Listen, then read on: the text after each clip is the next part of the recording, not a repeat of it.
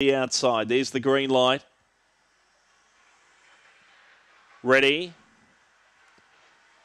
Racing. Beginning well from out deep, time for peace. Teapot Creek, good speed, and Jarvie goes forward from the centres. So Teapot Creek onto the first turn, lead the way. Jarvie to second, third Super Marley. Time for peace, swept into it deeper. Then Providence Barla length to Into the Sun. Five away, Lala Ivory and all in Dungy. Off the back, Teapot Creek in front. A length and a half. Super Marley off its back now to challenge. Time for peace, a length away. Into the Sun runs on into the straight. Super Marley hit the lead from Teapot Creek into the Sun, and Super Marley won it.